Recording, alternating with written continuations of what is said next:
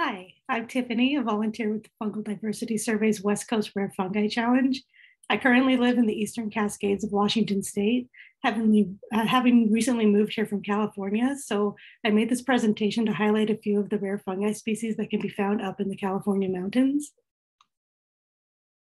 The West Coast Rare Fungi Challenge is a project that was started in 2020 to document rare, underdocumented, or potentially threatened mushroom species in Western North America the West Coast Challenge currently has 20 species, which were selected by a team of mycologists for their diversity, ease of identification, and general beauty or charisma. As you can see, we have a wide variety of some super interesting mushrooms here. The main objectives of this project are to protect fungi and their habitats. We work towards this goal in three main ways. By collecting observations of these species, we generate data about where the fungi occur, when they fruit, and the habitats they prefer. We also collect high quality specimens and sequence their DNA, which can then be used by researchers to help understand their taxonomic and evolutionary history better, which in turn can lead to future protections. The Rare Challenge helps to increase awareness of the need for fungal conservation and is a fun way to get others involved in these efforts.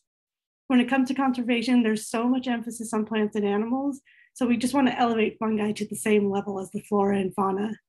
Mushrooms can go extinct too, but there's just not a lot of data on the subject yet.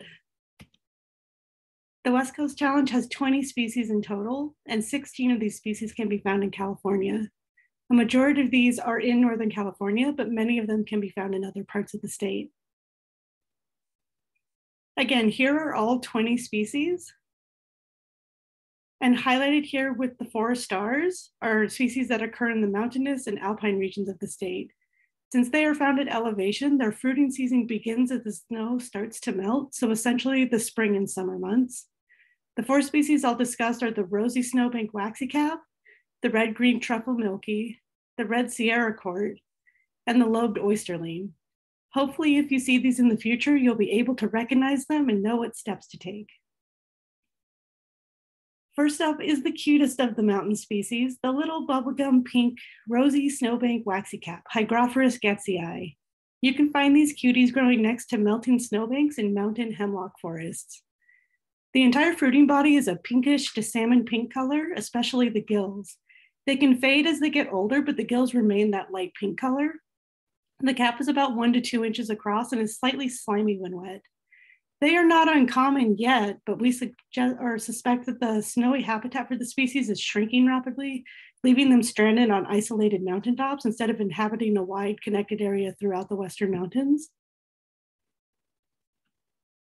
This next weirdo is the red-green truffle milky Lactarius rubriviridis. It's a Lactarius, a milk cap, but has a truffle-like underground growth form, unlike most Lactarius with a cap and stipe. The giveaway that it's lactarius is that it bleeds or oozes milk when cut. It grows underground in duff, but can sometimes be found poking out of the duff. It's about the size of a potato, but lumpier and bruises a greenish, bluish gray when handled. The milk is a dark red, and the inside is full of orangey, pinkish brown pits and holes with some white veins running through it. And that's the vestigial stem. It's been found near campgrounds in pine and true fir forest in California and Oregon, but whether it likes the disturbance found around the campgrounds or if that's just where us humans happen to be and are able to find these sneaky little guys remains unknown. The species has only been found a few times, so keep your eyes peeled for it in June. Next up is the fabulous red Sierra Court, Cortinarius sierraensis. This stunning bright orange, rusty red colored beauty can be found high up in the eastern Sierras in subalpine meadows near lodgepole pine forest. It isn't always as brilliant red as in these photos and can be a more cinnamon, rufous, brownish color on the cap, especially as it ages. The gills are a bright red to a rusty red, while the stipe is similar in color to the cap and slightly darker at the base. Lodgepole pines in the Sierra Nevada are in decline due to drought and widespread bark beetle infestation. The Red Sierra Court relies on lodgepole pines for its sugars, so as lodgepole pine forests disappear, the threat to this mushroom increases exponentially. And last but not least, we have the diminutive lobed oysterling Arrhenia lobata. It's a moss parasite that grows in cold streams and bogs in the alpine. It likes wet areas so much that it has even been found underwater along mossy creek edges. Uh, this rubbery little Arrhenia has veins instead of true gills, can have one to many little lobes, is a darker shade of brown on its upper side, and looks very reminiscent of a little mouse ear. If you're up near wet, mossy areas like meadows or along streams up in the mountains, keep an eye out for this little one. It's kind of hard to find, but if moss is around and it's very wet, you might be able to find one. The species has been proposed and assessed as near threatened for the IUCN Red List of Threatened Species, but has not been published yet. Since it's known from high mountain springs and northern latitudes, it may be in danger as global temperatures rise. If you happen to find any of these species or just want to get in the habit of properly documenting and collecting fungi, this is a great visual diagram of the necessary steps.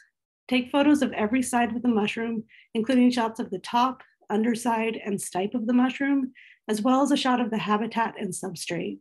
Collect the specimen and keep it somewhere safe like a basket or tackle box on your travels back to your home dehydrate the specimen. I just use a food dehydrator, but a bright sunny window with good airflow or even an oven on very low, like less than 150 Fahrenheit, can also work. Once the fungi is completely dry, it should snap if you bend it. You can snort or store it in a labeled paper pouch or plastic bag to send to get sequenced. You can and should definitely upload your photos to iNaturalist or Mushroom Observer the end of the URL, of your observation is a unique number that you can write on your stored specimen bag. Also be sure to stay informed of the collection rules or permit requirements of the specific land you're visiting, especially national parks or state parks, since you might need a permit when you're visiting those spots. For much more detailed instruction on how to properly collect and document your fungal finds, scan this QR code, which will take you to the FunDiS website. And to find detailed info on all 20 West Coast rare fungi species, including individual downloadable information pamphlets, scan this QR code, which will take you to the West Coast Rare Challenge page on the FunDiS website.